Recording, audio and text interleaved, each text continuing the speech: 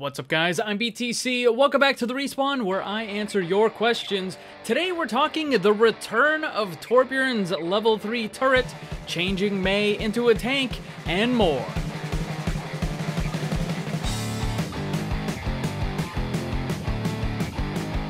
Before I get into the questions, I want to give you guys a quick update. For those of you that have been around for a while, you know I used to stream almost every day, but a while back I stopped and I want to start that up again. It's probably not going to be every day, but at least a couple times a week. I'm going to live stream over on Twitch because I already have everything set up over there, and I can play music there, and I just can't do that on YouTube. As for the game, obviously there's going to be a lot of Overwatch, but I also want to try out Warcraft Classic. I used to play a lot of Warcraft, and I started way back in 2005, right after I came home from a deployment. As you can imagine, you really don't spend a lot of money in a war zone, so when I came home, I had some extra spending money and I bought myself a brand new computer and started playing World of Warcraft. And I was quite good at it. I could level a character from 1 to 60 in just a couple days, way faster than most everybody else. I also ran a guild where we did end level raid content, but probably the biggest thing I enjoyed from old Warcraft was the world PvP. I used to solo raid Ironforge on my rogue, or Lights Chapel, and all these other places. It was just a lot of fun. In fact, the very first gaming videos I ever made were from that time when I was doing a lot of world PvP. Unfortunately, those videos have been lost to time. Now, I don't think I'm to make any Warcraft content for this YouTube channel, because I just don't think think it's a really good game for YouTube videos, at least not in a Let's Play sort of format. You know, maybe you could do guides and stuff, but I don't know if I really want to do that. It's better for a streaming game when you can interact with viewers, and maybe I'll put together some highlight clips or something from the stream and then put it on the channel, but if you want to catch the live stream, then there's going to be a link down below. You can go and drop a follow there, and I highly suggest that you join the Discord server as well, because it will notify everyone whenever I go live. There's a special bot that's set up for it. And also, the Discord server also has notification settings, so every time I post a video on YouTube, you'll get notified as well. And this is important because, let's face it, the YouTube subscriber feed is terrible, and oftentimes videos just don't even get put in there. But, you know, if you're in the Discord server, then you get notified of every single video and the live stream. So, that's it for the update. Let's get to the questions. First question, do you think Zarya should have two teammate bubbles like what they did with Junkrat? That's an interesting suggestion. I have heard stuff like that proposed before. I think it could work. It would push the character into being more of a tank and less of a bruiser, but it would absolutely require that they rebalance how the bubbles work because you couldn't just add another one. That would be way too strong. She would have a super high charge all the time and she would get her ult really, really fast. That just wouldn't be good. So if they rebalance the bubbles, they would have to look into the cooldown into how much they can absorb, and also almost certainly they would have to reduce the amount of damage boost that Zarya gets from the absorbed damage that the bubbles take. But I think you could do it, and it certainly would make the character more of a tank because she would be able to provide more protection reliably to the teammates as opposed to just kind of more of an emergency thing, which is kind of what it is right now. So yeah, it, could work, would require a lot of testing, a lot of rebalancing. Next up, do you plan to make a video on how to rework Mei into a tank hero? So this is something that I've actually thought of for quite a while about making Mei into a tank. I haven't really ever kind of sat down and thought of all the different things that would be required in order for this to happen, but I'll give it some thought and maybe kick around some ideas, and if I can come up with something that sounds like it would actually work, then I'll make a video on it, sure. Next up, do you think Torbjorn's level 3 turret should make a return? This is kind of a tough one. I, I think it would be cool, but it would be really problematic, really difficult, because the thing is with Torbjorn, his turret, for the lower bracket players, it can be very frustrating and difficult to deal with.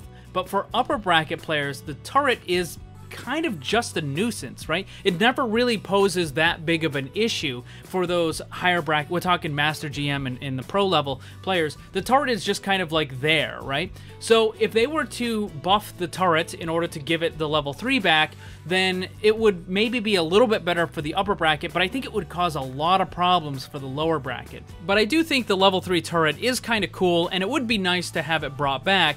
So let's say for the sake of argument, they do bring it back. How are they going to do it?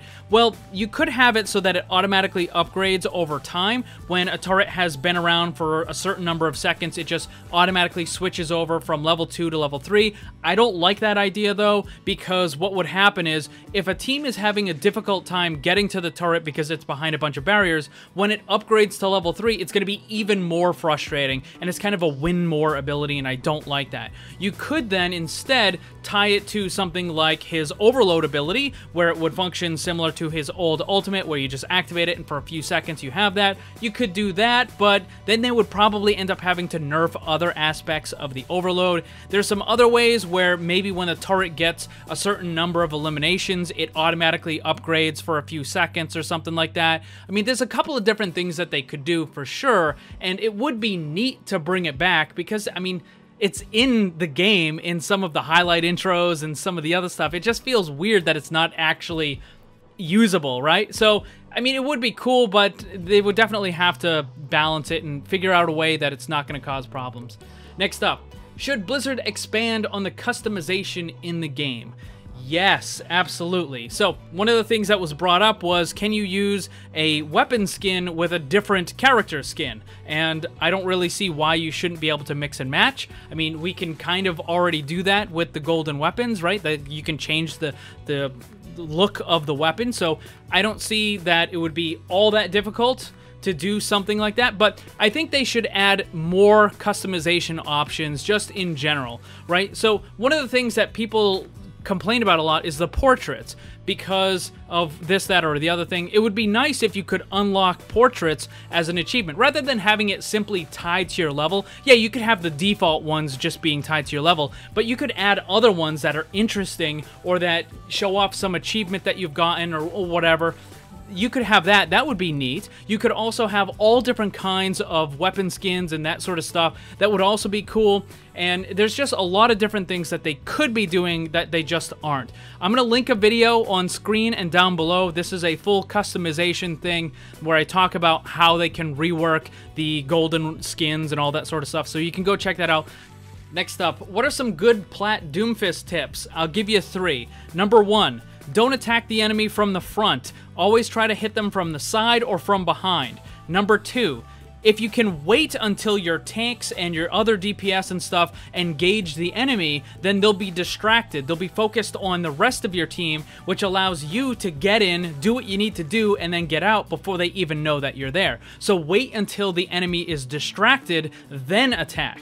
And number three, if you're going to attack, don't use everything all at once. You need to have some sort of escape mechanism. So you don't want to use all three of your abilities and then just be kind of sitting there in the enemy backline when all of a sudden they realize you're there, they're going to turn around and they're going to destroy you. So if you rocket punch in, then you can use the uppercut and the slam to get out, or if you use the slam and the uppercut to deal damage to the enemy, then you can use the rocket punch to get out. But always have some way of escaping from the engagement.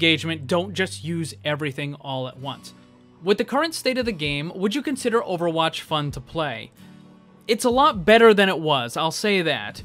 I used to play competitive pretty much all the time, but I just got so sick of dealing with throwers and leavers and just having five DPS teams that don't want to work together and people not in voice and all this sort of stuff. It just got so frustrating, it didn't feel enjoyable in any way, shape, form, or fashion. So a lot of times, for the recent seasons anyways, I would just go into competitive, do my placement matches to get the points, and then that was it. Sometimes I would do that on the very last day of the season just just because I, I didn't enjoy it. And now with role it's certainly better. It is definitely better, but Blizzard is still almost totally ignoring the thrower, the leaver, and the smurf situation. And I don't know what they're doing, but there's so much potential to be had, and they're just ignoring some of the biggest, most glaring issues.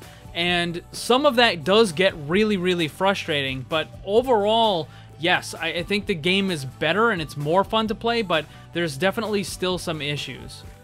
Next up, would a map where you need a certain amount of eliminations to unlock the control point work? No, I don't think that would work at all. Let me ask you something. Do you find it to be fun in any way when you're attacking the second point of Hanamura or Temple of Anubis, and the defenders are just stalling nonstop with Mei and with Hammond and Lucio, and it's just nonstop stall fest. Is that fun? Because I'm guessing most of you probably don't like that. And if you had a control point that was based on eliminations, you would essentially end up with that. Both teams, or, you know, if it was kind of like a normal control map, or if it was something more like a Hanamura style thing, you would just end up with the defenders constantly stalling. There would be barriers and ice walls, and Hammond just going all over the place. Like, the goal would be to avoid the enemy rather than engage with them. I just don't think it would work. Next up, should the Archives missions have multiple endings? This is kind of interesting. Now, the problem is that Blizzard needs to put in a lot of resources in order to make those archive maps, and I don't think they could really have multiple kind of cutscenes at the end for the different, a variety of different endings. However, I think what they could do is maybe if you finish it on easy, then you get, you know, a very kind of limited ending cutscene. And when you finish it on the harder difficulties, you get the full cutscene. Or what they could do is have it so that you have to play it with all four of the characters, right? So when you play it with the first character, you get part of the cutscene. When you play it with the second character, you get more of the cutscene. And then when you've played it with all four characters, then you get the full cutscene for the whole thing. So that could work. I mean, they'd have to find a way to do it so that it isn't just kind of like a, a chore or that it's annoying, but I don't think multiple endings would work simply because I mean, let's face it, Blizzard doesn't have a whole lot of lore or story in Overwatch to begin with, and you can't really have different endings because it kind of messes with the canon. So I think revealing more would be the way to go as opposed to having alternate versions. Next up, do you think the next hero will be a shield buster to combat double barrier comp?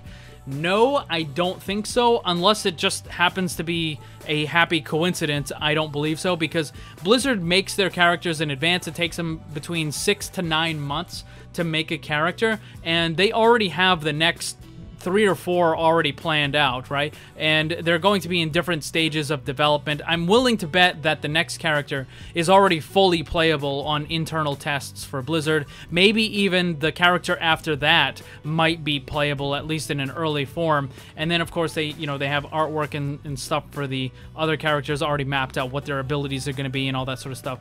But I don't think that it would be a good idea for them to just turn around and make a character to directly combat the meta because that's not really a good idea. Because then when that meta goes away then that character kind of loses its purpose right?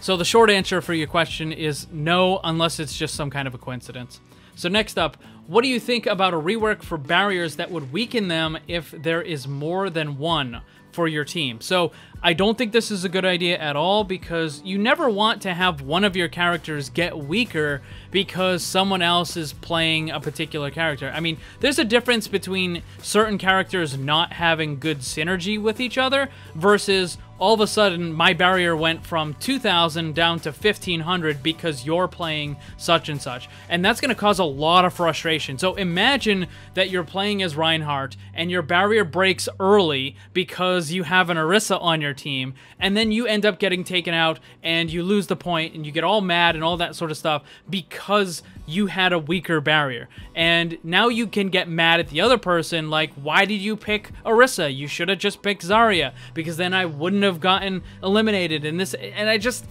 it, it just seems like it would cause way too many problems, and I don't think you should have any sort of uh, kind of uh, a weakness or any sort of lessening of your character applied just because someone is using something else. No. Next up, how are your cats? The cat blobs. They're doing pretty good. In case you don't know, the cat blobs are two cats that I have. I actually got them also right after I came home from deployment. They just turned 14 years old. They're torties and they're really awesome. They have their own Instagram account, but I also post stuff on my Instagram as well. But one of the things with the return of the live stream is I often had a cat cam that had just video of the cats moving around or doing whatever they would do during the live stream. But the cats are good and they should be making a return. And that's going to be all the questions for this week. Thank you to everyone who's submitted one. Remember, I post the question card for the Respawn questions every Saturday on the community tab of my YouTube channel. And also, if you want to check out the live stream and join the Discord, all of those links will be down below. Thanks for watching, and if you'd like to see more, subscribe and hit that bell so you don't miss anything. Also, come hang out in my Discord server and my Twitch live stream. Special thanks to my Patreon supporters. If you'd like to see what kind of cool VIP rewards you can get, check the links down below. And remember, always, always blame the controller because it's never your fault.